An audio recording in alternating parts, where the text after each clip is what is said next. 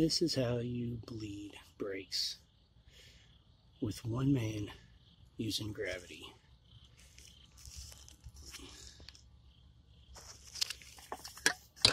Let's see the bubbles. Works pretty well. Hose to the very bottom.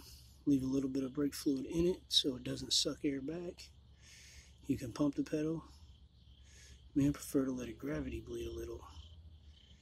And then at the last minute, I'll pump the pedal. It's working pretty daggone good right now.